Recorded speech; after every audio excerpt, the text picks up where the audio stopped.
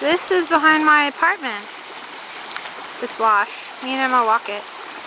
See, there's my apartment's way over there. this actually, this area is the deepest area so far that we've been. Goes up to my, like, couple feet maybe. It's cool.